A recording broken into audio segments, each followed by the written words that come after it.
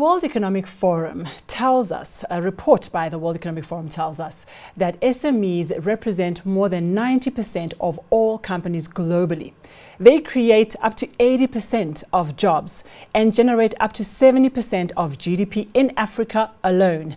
SMEs operating within the special economic zones have become a popular topic due to the interest of African governments in capitalizing the benefits of the African continental free trade area. Good day and welcome to this special broadcast. I am Zanele Morrison. SMEs do play a major role as an economic driver and there are many growth opportunities available available. And in today's broadcast, we will be speaking to a panel of experts to explore ways to accelerate SMEs within the OR Tambo Special Economic Zone.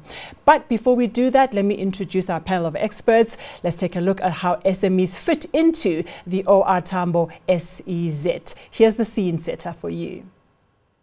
I love Johannesburg. I love the energy the city of gold, Egoli, whatever you want to call it. There's an energy here about people that want to do things and get things done and just take advantage of opportunities. There's always a question of, does South Africa have the skills, capabilities required to drive this business? And if I were to invest in South Africa, do you have the people that would support my business?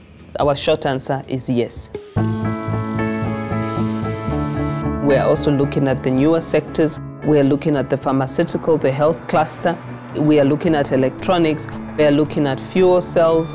This is a new industry, very, very exciting. We have green hydrogen that's rapidly developing into one of the biggest business drivers in, in the world. And that green hydrogen relies on South African-based platinum group metals, we had tremendous support from the Department of Trade and Industry, and we're now at the execution stage where you get entities like the GIDZ and the Gauteng government coming in and setting up with the DTI the special economic zones that will then also help give us additional incentives to take this into full manufacturing. We are proud of the fact that we are creating a core of young graduate interns learning from the best in the world. So we're creating the skills for our future. We all know unemployment levels are simply unsustainable. So this could be very much a industry that creates brand new jobs, creates new revenue, and helps us as an economy reindustrialize. So we need to grasp this opportunity with both hands. I love economic development. I love this business. The citizenry of Gauteng and South Africa is hungry for growth and we as government has a responsibility to work with the private sector to deliver on that promise.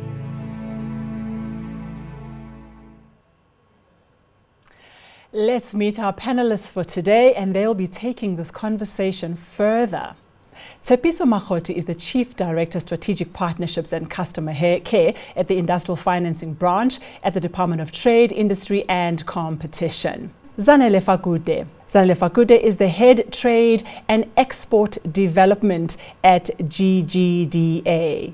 Saki Zamxaka, Zamxaka is the CEO of the Gauteng Enterprise Propeller, Cornelius Mdluli, Senior Investment Associate, Strategic Projects Funds at the National Empowerment Fund.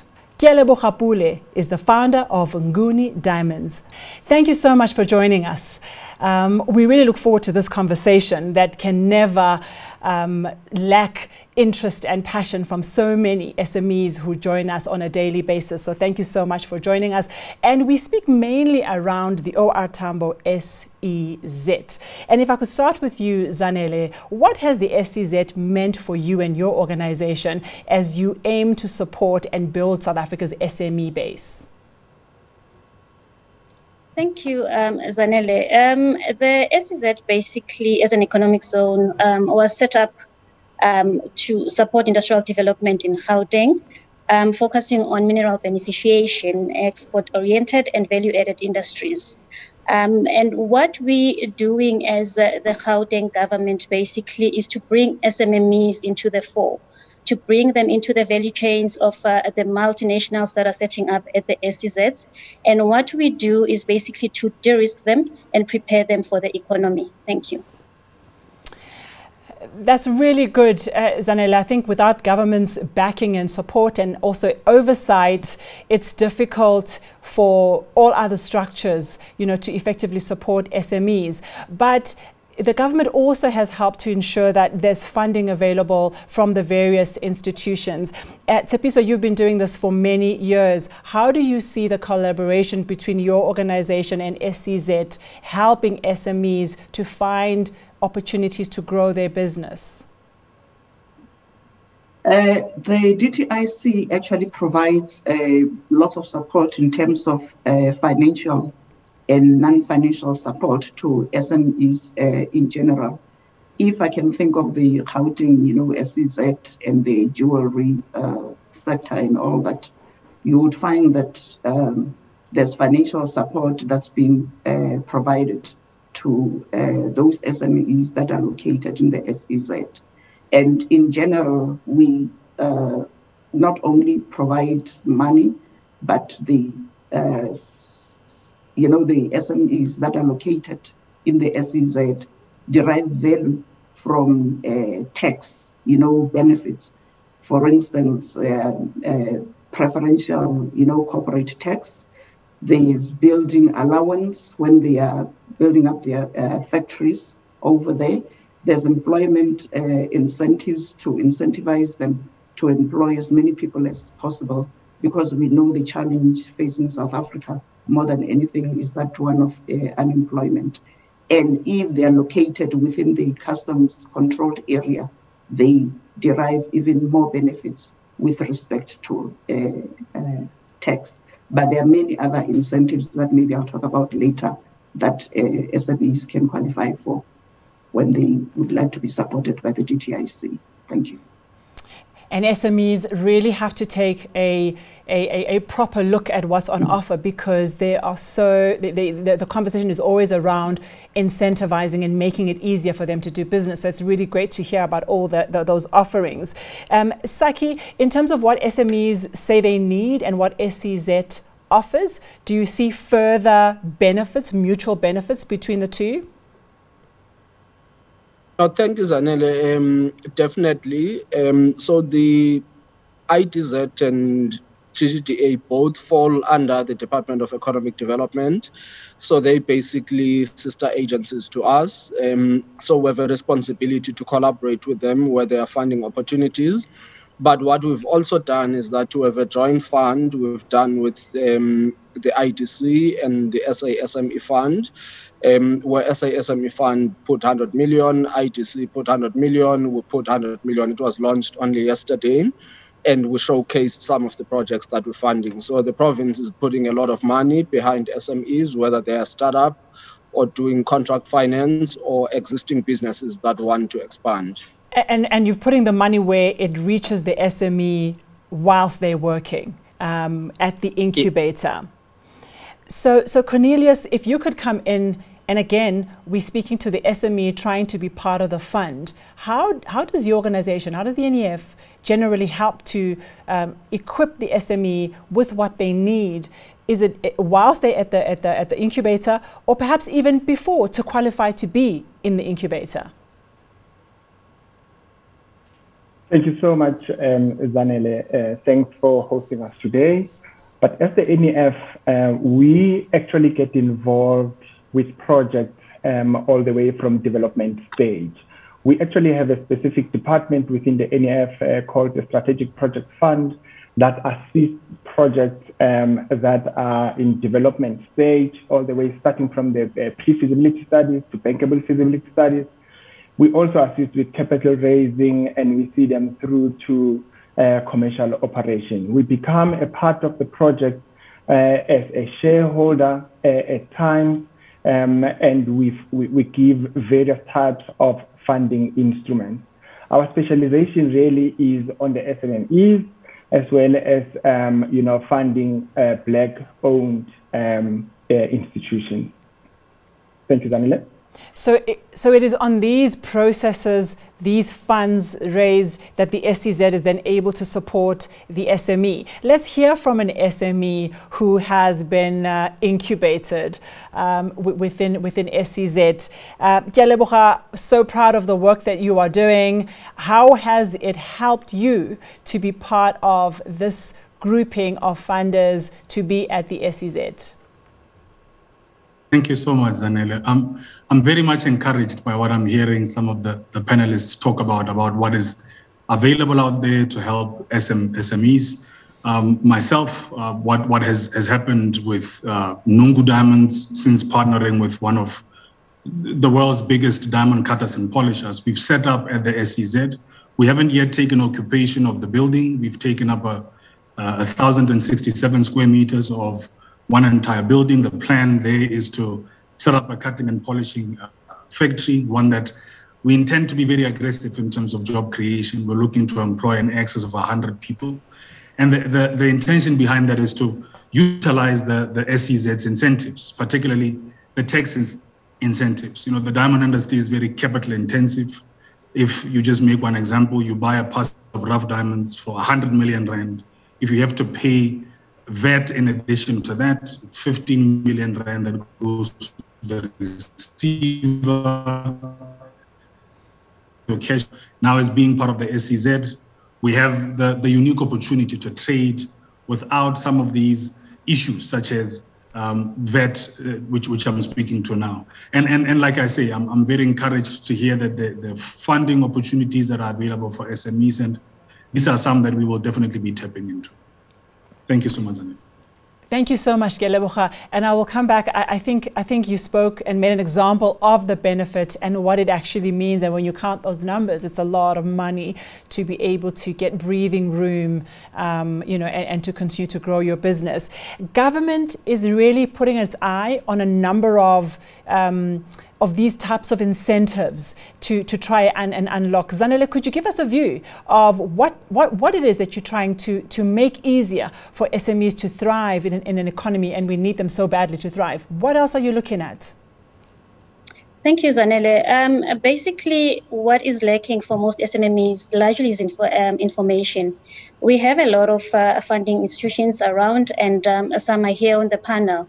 Um, but you find that um, SMEs don't know how to get from point A to uh, point B. So what we do as um, the GGDA, we get uh, companies to be export ready. So we provide them with training. Um, we provide them entry level and uh, basically advanced, uh, advanced training. Once they are trained in exporting, we also make sure that they become competitive because we want them to be competitive globally. Uh, we want them to take opportunities of uh, the AFCFTA that um, was implemented last year and started trading um, yesterday uh, between Kenya and Ghana. Um, we want them also to play in the space of uh, e-commerce. Um, I mean, the pandemic really changed the scenario in terms of I think I've lost you for a minute there, Zanele. Thank you so much. Um, I think export readiness, I definitely want to come back to that conversation um, and how we actually take advantage of the trade, the free trade agreement, uh, area agreement for, for your SMEs. I thought I could go to you, Tshepi, um, Tshepiso, and talk about other tools. You know, we, we, we, want, we want SMEs to thrive, to export uh, globally. What are the tools that are made available to them to get ready and to be able to trade much more effectively locally as well as in, in an export market? As I mentioned earlier, as the DTIC, we provide um, financing and non, you know, non-financial support to SMEs. And in terms of the um, uh, financial support that we provide, it will be under manufacturing, it will be in innovation, it will be in export promotion as my colleague, has already uh, mentioned. What we do, especially for those that would like to showcase their products and services outside South Africa, we provide them with uh, funding for, you know, the air ticket, for, you know, transporting their samples, for whatever it is, the stands that they will need when they are showcasing their uh, products there. In this way, because we provide 100% for SMMEs, we are assisting them in terms of reducing the cost of doing the business and opening those markets. But before they can, we can even send them out of South Africa to go and expose themselves. We offer them, you know, export readiness courses as well to make sure that at least they are ready, you know, to be, you know, to be supported one other thing that we've just started in the DTI with effect from the 1st of uh, September is you'd find that SMEs use a lot of paperwork in the same way that we're doing as well. We've introduced an um, an incentive online, you know, support, starting with the export marketing and investment assistance scheme, because we think it is such an important incentive that can open doors for many companies in South Africa, especially the SMEs. And we are focusing on Africa in general. So we are assisting them and making it easier for them not to be busy with all that paperwork, but to sub, you know to submit everything online. And if there's a problem, it's picked up immediately at, at any one stage. Uh, we, together with the, uh, our clients, the SMEs, we can track the status of the application at any time. So it has done away with a wastage of time that the SME owners were exposed to, where you'd find that a lot of their work was spent on administrative issues that really did not add so much value to what they were supposed to do. So, in as far as exports are concerned, that's how we are supporting the SMEs. Thank you. I think there's another benefit to that. I've had another conversation around uh, the paperless route. It's also to track if my application has come in, when mm. did it come in, mm. how long did it take mm. for you to respond to it, um, and, and really it holds everybody accountable. It holds you accountable, it holds the SME accountable to the dates provided. Am I correct? It is indeed, definitely. Well, I, and I, even for us, it has made things easier for us, you know, when everything is being done online.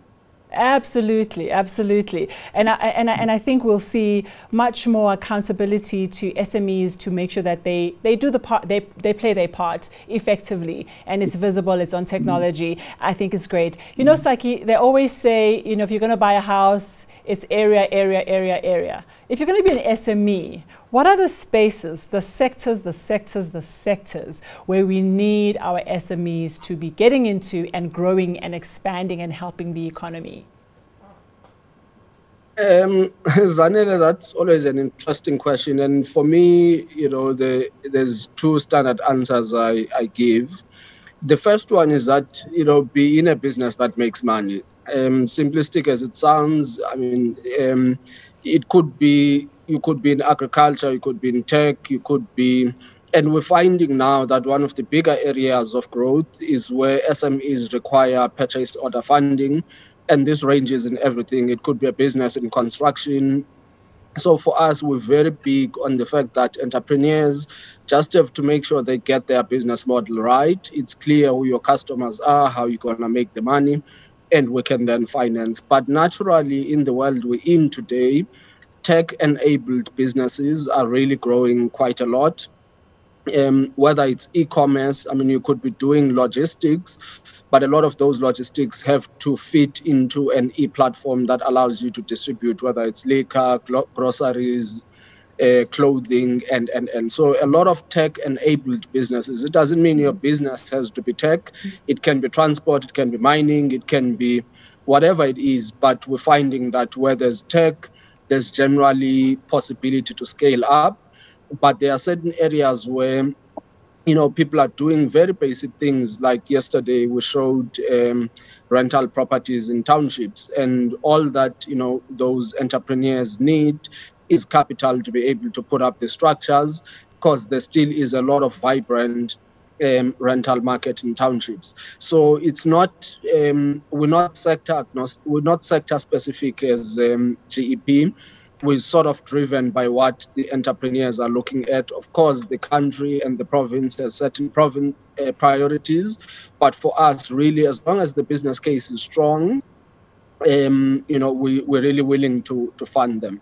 Cornelius, the incubator, and I know that there are quite a few um, and when we look at the, the, the scale of the SEZ incubator at OR Tambo and the number of SMEs that are there, as the NEF, do you sometimes feel the pressure of, of the visibility of your work within an incubator? Is it helping your organization to be much more responsive, perhaps, or to be agile uh, in terms of the support required by SMEs? Certainly, Zanele. I think we, I wouldn't call it pressure, but I would call it um, um, we uh, we actually work a lot in collaboration with the SEZ. We currently do have a couple of projects uh, in our pipeline that we are doing with the SEZ around the country, and we are very excited to actually have uh, the SEZ in in, in Gauteng. Um, in the OR Tambo area, uh, we are pretty sure that there's going to be a whole lot of deals that we do in, in that space. When we when we get involved, um, I mean, as you know, with the NEF, we are always looking for core partnerships, be it in the funding space as it is, or be it in the development uh, of the projects themselves. We work together with the SEZ to make sure that these projects are developed to the stage where we can actually fund them. And uh, we we actually reach out all the time. I mean, uh, the DTIC is uh, is actually our, our shareholder, and we reach out to them to ask for assistance all the time. And uh, every other uh, financial institution that's interested in funding with the NEF. But it's not so much the pressure, but it is actually wanting to be involved all the time and wanting to make sure that we are at strategic places to make sure that we uh, get the economy up and running. Um, let's come in from an SME perspective. Does the incubator also provide opportunities for um, opportunities for your business? Do you find that it does help with positioning? It does help with bringing in, um, you know, eyes um, and, and, and money into your products? Um, is it helping to be there? Absolutely, Zanella. Um, I'm going to make you just one example. A diamond jewelry fair there. We've been talking the panel about export rate. I mean, I've been attending these trade fairs since 20. I was funded initially by the DTI, and exposure has been very critical in my, you know, being able to take your products to the world and see what the, the market your product ultimately ends up, then informs you in terms of decisions you make in regards to what it is you buy, what it is you manufacture, any what methods to employ in cutting and polishing diamonds that are most effective and cost effective as well. So, you know, being part of a SEZ is critical in that, you know, you, you, you're able to position your business correctly. You then have access to market because of the tax incentives that come with that. The export readiness aspect then enables you to be in a position where you, you're able to export, you know what the process is. It's not so difficult for you. Like I say, we've been doing it now since 2014. And with the establishment now of the SEZ, at uh, the OR Tambo, specifically focusing on, on cutting and polishing. The industry can only grow and, and in South Africa, but also be a leader in the region. In many countries in the SADC region produce diamond, be the hub where many of those diamonds are cut and polished, and jobs are created. So to answer your question simply, yes, yes, the, the SEZ is, is, is critical to the development of any SME, I would say. And the more you talk about those diamonds, the more my mouth just waters, you know, because diamonds are absolutely a girl's best friend. So I look forward to seeing you at the SEZ. I'll be coming by to, to have a look at the stock. Thank you so much, uh, Cornelius, for your answer, uh, and Gyalebucha as well. And I want to go back to Cornelius and probably also to Usaki and, and speak of, I think, the projects that we are most excited about in, in the country which ones are sitting at SEZ? How are we seeing them also come to fruition, just like Gyalebucha's business is doing? And, and either one of you is welcome to take the question. Thanks, Vanille. Um, maybe uh, I'll, I'll, go first. I think at the moment, the, the kind of projects that we have, I'll just mention uh, two. We've got um, one that is in the recycling uh, space. Um, they do um, uh, tire, it's tire recycling. Uh, we also have a project in the health sector um, where it's production of um, um, uh, uh, dialyzers. So these, these are uh, products that are used in, in the health uh, space. But going forward, we really see I think for me, I think early on we were asking what is the buzzword? What are the projects that are typically going to be making money in, in current uh, uh, terms? We are seeing a lot on our pipeline in the energy space. So projects that are, I mean, energy energy is actually the buzzword at the moment, and we're seeing a whole lot of applications that are talking to um, uh, that kind of that kind of space. But at the same time, we get very excited when we get projects in the um, fourth industrial revolution uh, type of uh, transactions. You know, people that are more charismatic, people are more forward-looking, looking into ways in which things can be done better, be it the running of the business itself, or uh, uh, just making sure that everything, you know, uh, goes smoother, you know, in the current um, um, um ways of doing business. But yeah, that's basically what we do. Yeah. We look forward to seeing and hearing about more of them. I think the SEZ will be incubating quite a lot of interesting businesses, a conversation we need to continue. Saki, which ones for you have you got sitting within incubators um, and how are they doing? No, thanks, uh, Zanel. I think, like Cornelius, um, we cover a lot of sectors, and I'll make different examples um, about some of the stuff we've done. Let's take just the um, the IDZ. So within the IDZ, uh, part of what they do is to do training on people who are jewelry designers. Um, once they complete that training, um, they then need uh, funding further. Some of them get employed and some of them start their own businesses. Um, that's one example. And the interesting one where I was saying, you know, sectors can be very vast. The IDZ also has another very key client, which is an food packaging business. Why at the airport is because they export most of their stuff. And because it is perishable, it is much easier for it to then be air freighted than if you were going to ship it or something else when it's going to other. So the sectors can be very different. So that one was funded largely by the GGDA. It's a bigger business. Um, they they export uh, so from us with the IDZ particularly is then looking at those businesses which are there, um, you know, designers of jewelry who now want to take it to the next stage. Um, and that's where we would come in. I've made another example about the fund we launched yesterday, and just I mean, uh, by way of perspective, two examples um, out of you know what we're launching. One was in Gulfontein, where these guys are doing the backyard rentals. Um, and one entrepreneur was saying um, they have eight rooms, and out of those eight rooms, they make 35,000 rands a month. And they were funded um, by one of these uh, implementing partners that we have. We have another entity that does purchase order finance. Um, so people get contracts and they don't have ability to fulfill them. So the the um, Creed was making an example that there's somebody who came to them needing five 500,000 rands as working capital to fulfill a contract. So they had a contract from a government entity, and government entities by design, you've got to deliver first, and then they pay you after deliver, and they can take up 30 days to to, deli- to pay you. So they then provided a funding arrangement and guarantees to the entity, and they're saying within months uh, that business moved from a 500,000 a month turnover to 8 million rands a month turnover. Um, so they had access to a client who was willing to give them money, but to give them work rather. But what they didn't have was the ability to finance.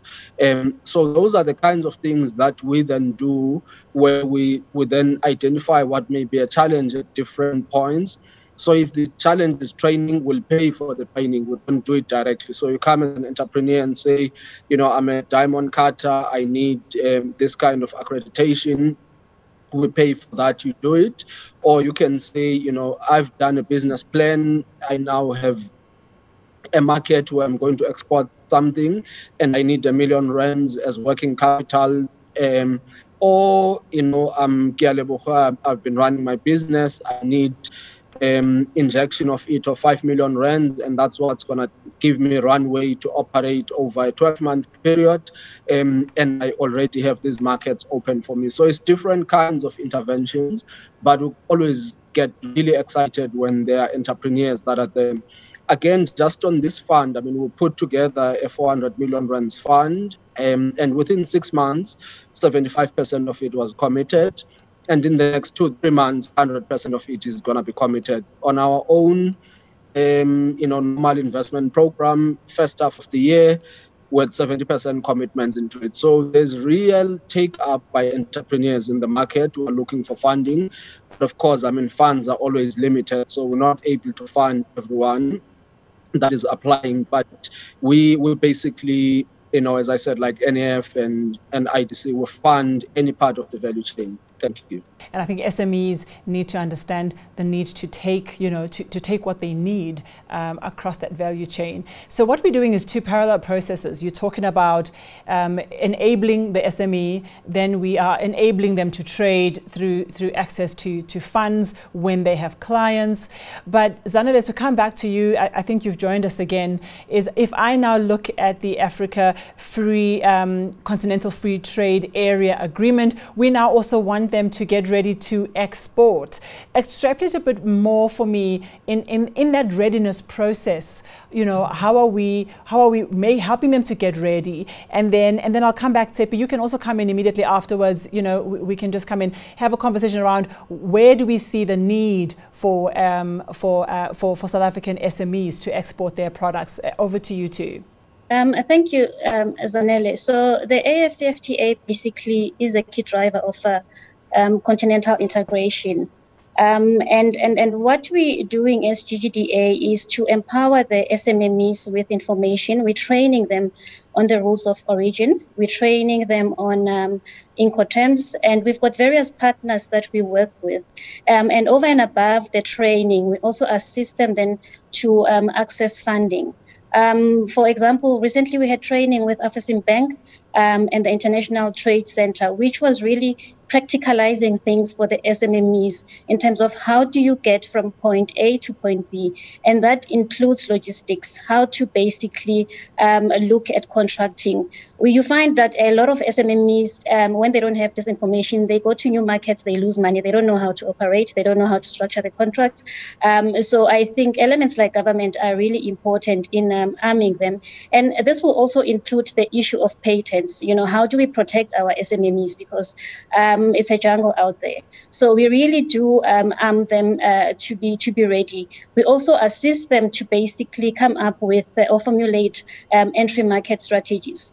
Um, the other thing that we've done as the GGDA, because we believe in strategic partnerships, um, within the continent, basically, we have identified key regions uh, which basically um, will be the soft landing pad for our businesses.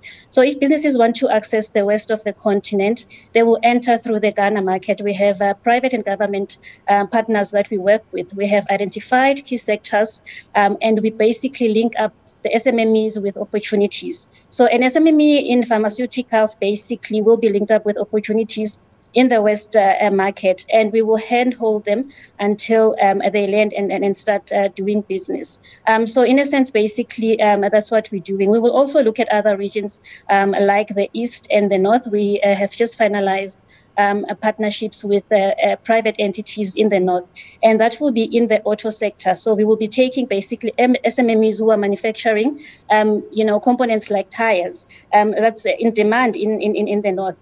Um, so we will be uh, taking them to uh, those markets and assisting them also with uh, uh trade finance. We don't offer the trade finance. We will refer them to your GEP, but we also work with uh, private uh, sectors, as I've said earlier. We also have private sector players who basically sometimes they look for equity in terms of partnering with the with the SMMEs. Um, so we we do that in the main. And uh, to further market their products, like I said earlier, we've uh, come into the uh, e-portal a space, so e-commerce space where basically we have an exporter portal. They can load their products or services, um, and the portal is outward facing. So buyers basically will be placing orders through the portal, and we will be improving the system as as as we go along. So there are various partnerships that uh, we are putting in place and programs to make sure that our businesses um, are basically armed to compete uh, globally. Thank you.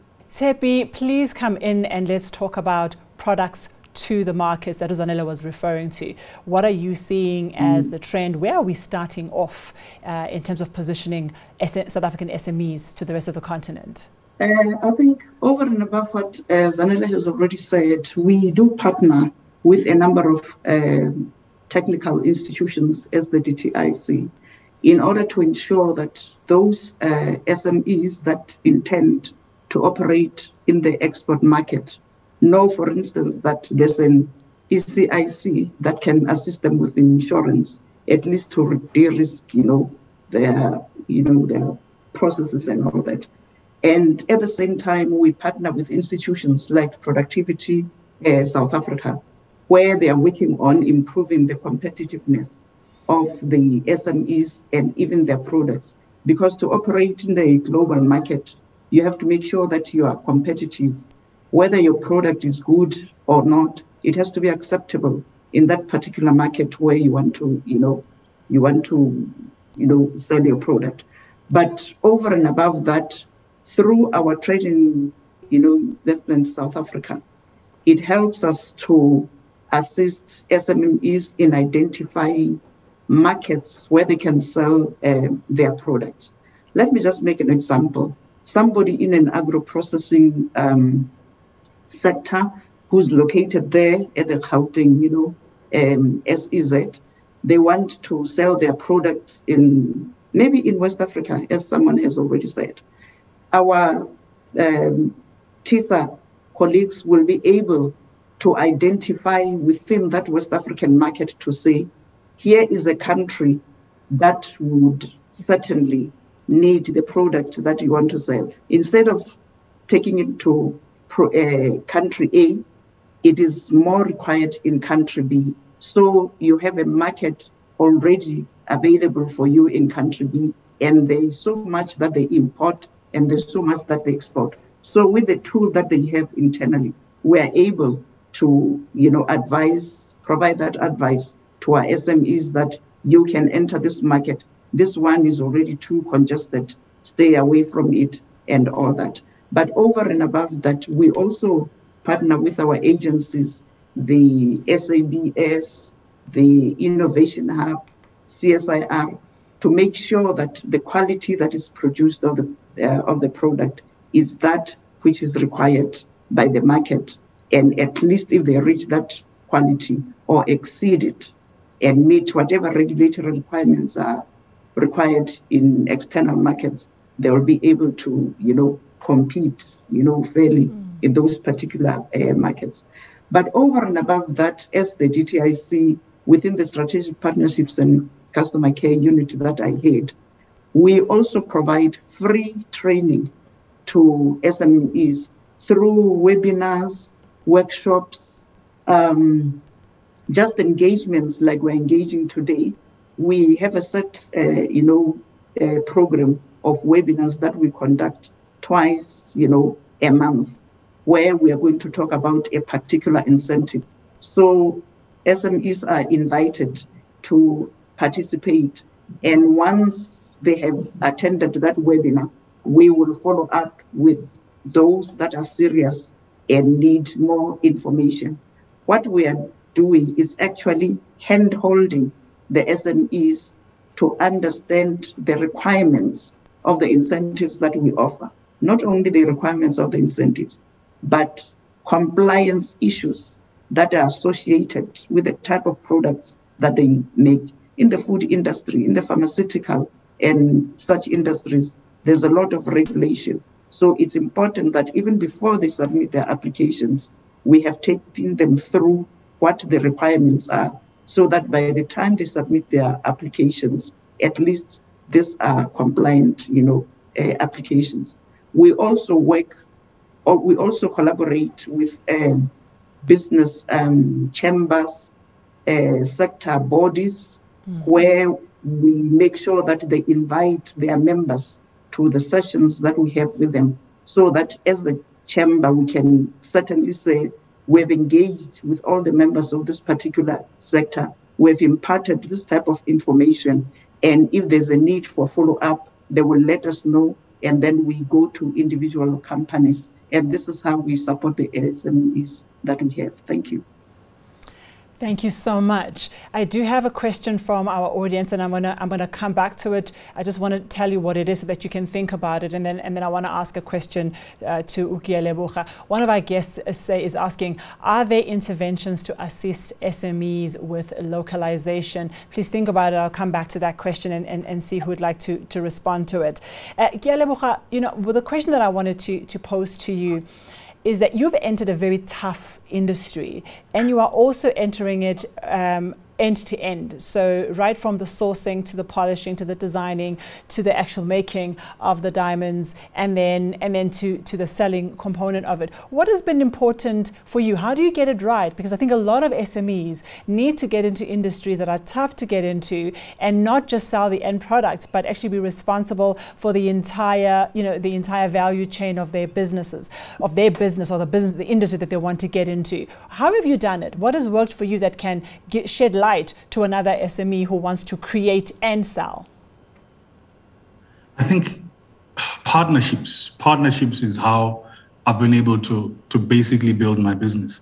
I remember the first time I got into the diamond industry, there was a lady at a company called the State Diamond Trader. She was a CEO there. She was very passionate about the development of young people in the diamond industry. She she then decided, you know, as a, as a young person coming to her, saying to her, "I have a vision. You know, when you when you're young, you can have all kinds of dreams." She number one had the time to sit down with me and talk to me about this vision. She took me through the process of applying for a diamond beneficiation license. She then was was incredibly creative in how she she did her job as the CEO of the State Diamond Trader, and that she was intentional about uh, affording us access to overseas markets. I remember in 2014, I went to through the support of the DTI, I went to Tokyo, I went to London, I went to Hong Kong. Again, you know, to reiterate the point I made earlier on market access. And through the, partnership with the State Diamond Trader, I was able to form more partnerships. I approached DBS. Uh, we're now clients at DBS, and we buy a substantial amount of rough diamonds.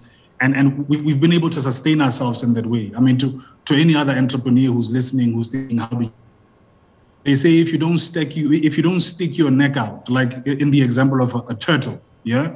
If you don't stick your neck out, you won't move. You won't go anywhere. So it's it's all in the the function of taking a risk, asking the right questions. And what I'm liking about this panel is I'm realizing even with myself that there's such a lot of information out there that I haven't had access to. And I'm I'm quite encouraged to know that there's so many platforms one can tap into. And Saki, I will be calling GEP about that five million rand. You know how we are as entrepreneurs. But but all, all in all, it's just it's, it's all about having a vision, executing on it, being consistent, asking the right questions, and being willing to learn. That's that's me simply answering that question. Beautifully answered.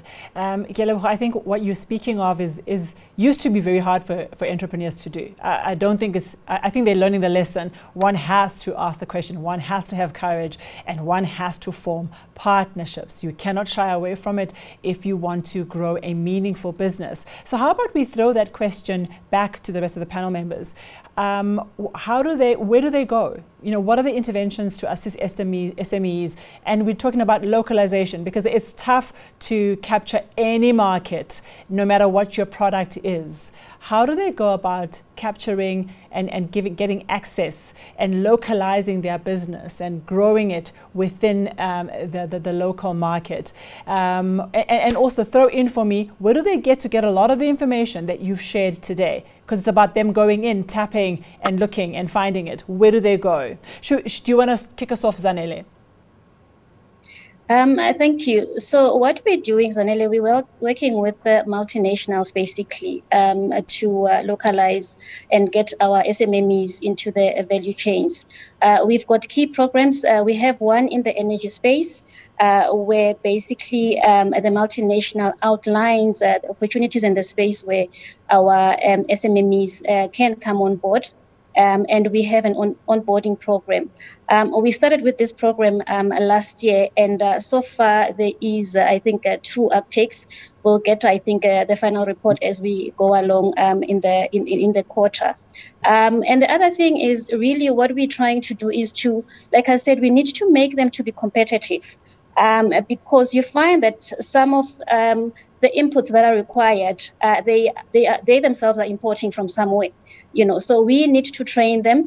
And the way we train them now we have made our training to be sector specific um, so that we give a detailed training and information on how to improve uh, uh, their production, on how to basically get into the space, and also then provide um, the linkages. So it's it's it's, a program that we um, it's a three-year program.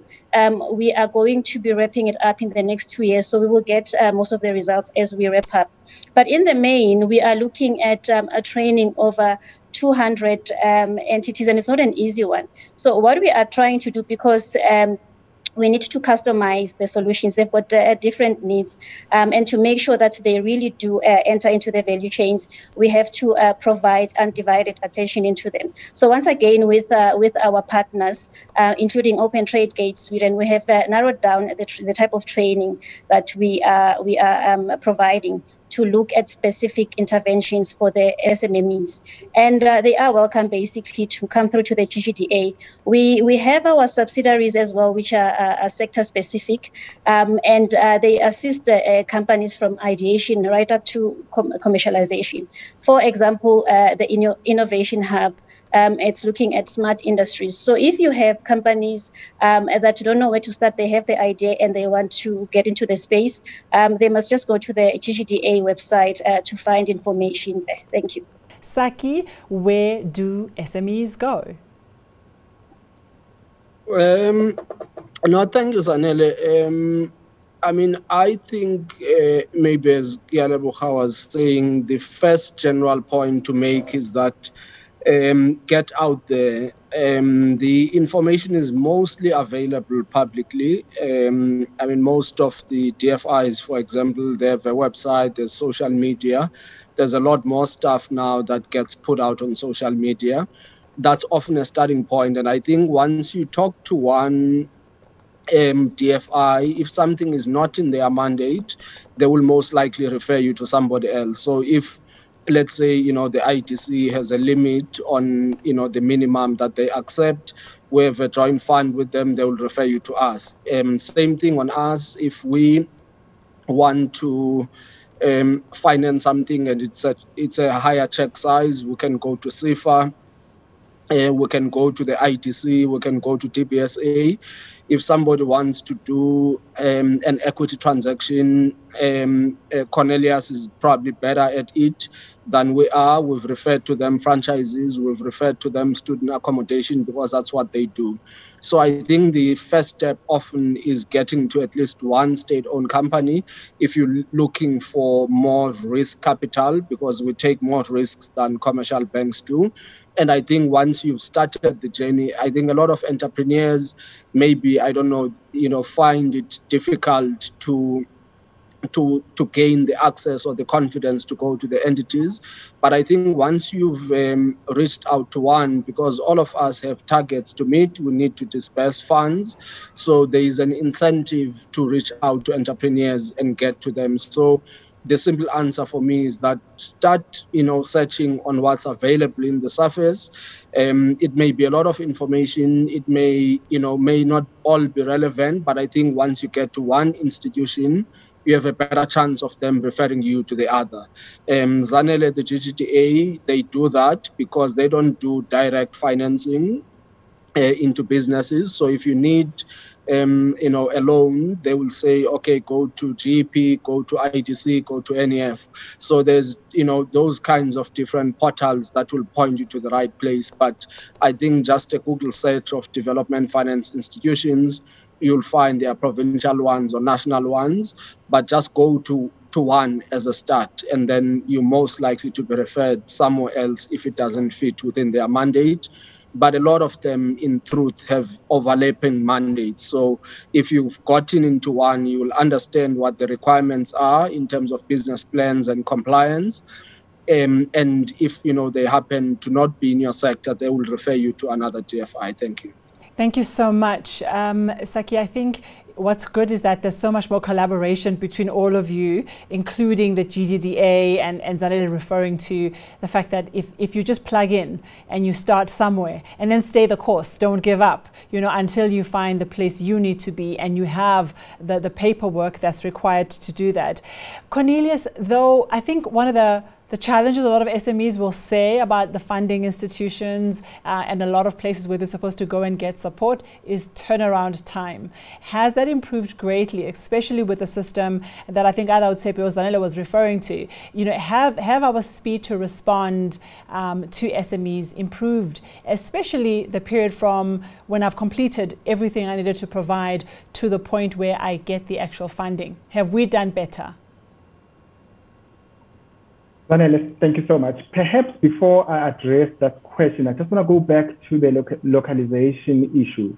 I think it's uh, one of the things that really excites us because um, localization actually is perfectly in line with IPAP as well as um, the National Development Plan. So those are the things that we do. Um, we try and make sure that when they are in line with those, uh, they actually even get um, rates that are more uh, competitive because of exactly that. We are also wanting to be seen to be supporting the national programs uh, in order to make sure that projects that we do are in line with those. Um, in terms of the turnaround times, um, I think um, we have improved um, and we are continually improving, but of course we are still getting some um, some some saying you know we uh, things are taking long and all of that. But I think it's just the nature of the game. Uh, there are times when the pipeline is just so long and we can only do so much. But um, I think um, judging by the successes that we have had, I think we have really really improved. But maybe one more point that I would like to make about that COVID has taught us to do things much faster. I think um, it has taught us to do things differently. Uh, everything is done online these days, which has actually made things much, much faster. Actually, uh, during COVID, uh, some of those COVID deals, we managed to close them within uh, a week or two. And uh, I think there are very big learnings that we are taking from that. In closing, I just want to say um, people must reach out. I think what Saki has said, I think captures it correctly to say people must just reach out, get to our website, get to the information is there. Come through to the NEF. We assist even before funding, uh, funding itself. We assist people with business plans. We assist people to put together those projections and, and all of those. Whatever assistance is needed, we do have a department that actually works through uh, those kinds of things. Zanele. I don't know if you can close for us, uh, please, Geleboha. Speak to me about that exact question. What does it take from a, a, a, a an admin, uh, a red tape, um, and, and, and is the SEZ incubated OR Tambo making that easier? I think let, let me answer the question by saying this. Anything that's worthwhile takes time. Uh, this is not in any way trying to excuse government. At times, things do take longer than they should. But you, you, want, you want to say you're going to put whatever application through a, a rigorous process that ultimately has you with the answer yes or no to the funding request. So I, have I've, I've been fortunate to, to be quite persistent. If you don't answer the phone, I will call you 10 times. I will get you to send, I'll get somebody to send you an email. You will have to say yes to me at some point. So I think to just advise those that would say it takes too long, I think persistence is is one of the things that we need to all have as entrepreneurs. It's not going to fall on your lap, it's going to take a lot of work. Sometimes you'll be told you're wrong, you have to go back, redo the business plan, whatever the case is. You have to be willing to go through the process if you believe in your vision. So, to answer the question simply, we have to stay the course. We have to stay the course and it is not an easy course whatsoever. Thank you so much to all my guests today. I think it has been really a fruitful conversation, and thank you to everybody that's watched. If you could let yourself go with just one one final word of encouragement, one final benefit to working towards finding yourself at an SEZ type of an incubator, what would it be? And maybe I can just ask, um, you know, one or two of you just to lean in and say, you know, how would you encourage SMEs to have hope and to continue to fight until they find themselves not only trading locally but internationally? Yeah, maybe Zanele, look, um, you have one entrepreneur who's here. Um, and you know, and he was t- saying about what it takes. I mean, I've also walked the journey of being an entrepreneur, and uh, and and a lot of it you've got to start um, you've got to accept that at times when you deal with clients, their requirements may be different and you need to find solutions to them. um, development finance institutions are using taxpayers' money. Um, so when they say we need a business plan, we need compliance, unfortunately, it has to be done because if that business fails, and the documentation was not there, we get looked at as having been reckless. So a lot of it requires hard work. It can be painful. You may think it is unnecessary, but you're dealing with people who have different incentives than you. You want your business to succeed. For them, they are looking at the risk and saying, if things go wrong, what do we have to fall on? And in, in most occasions, the falling on is on the rigor of the process. So anyone can apply. These things are available for all South Africans. Um, there isn't anything special about anyone to qualify onto them. It's getting the information, understanding the sector you're in, because the more you you know you zoom in into a sector is the more you understand you understand the risks. And and if you're an entrepreneur and a startup in most occasions really the funder is backing you as a jockey than even the business. So they've got to believe you are you know committed to the business you have knowledge in it. If you don't have the knowledge at least you have access to the knowledge and what it is that is going to take you out there. I think generally south africa has accepted that growth is going to come from SMEs. There's a lot of enterprise development pro- projects in corporates. So there is, you know, the right noise, the right energy, and more money getting into SMEs. So I think if you push long enough, you are definitely going to get into that. There is no special human being that qualifies for it. It really takes you as an entrepreneur to get into it. Thank you. Thank you so much. Do I have time for Tshepi very quickly, Tshepi, to round it off for me? Yeah, yeah. Yeah, certainly. I was saying whenever we talk to SMEs, we encourage them to be members of a Proud South African because once they take that membership, they're going to meet other people who need their products locally where they would not even know because we have this, you know, buyer seller, you know, sessions where they meet and discuss and suddenly somebody finds that here's this company that I didn't know about but that would need product. you know uh, my products and all that. And Amazing. people need to be patient and understand that we account to south africans to parliament. So when some of these requirements are there in the documents we are not trying to be mean.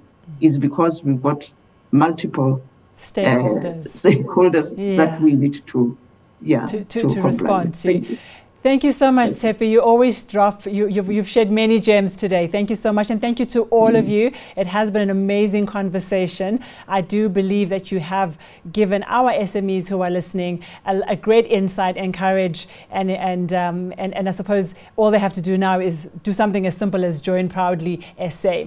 That's where we'll leave this mm. conversation for the day. Uh, thank you so much, Tshepiso Makgothi, the Chief Director of the Strategic Partnerships and Customer Care, Industrial Financing Branch branch at the Department of Trade, Industry and Competition. Zanele Fakude, thank you. She's the Head of Trade Export Development at GGDA. Saki Zamxaka, CEO of the Gauteng Enterprise Propeller. Cornelius, thank you so much. Mr. Mdluli, the Senior Investment Associate at Strategic Projects Funds at the National Empowerment Fund. And last but not least, Kialebo Pule. Good luck, Mr. Diamonds. Until next time, I'll see you again.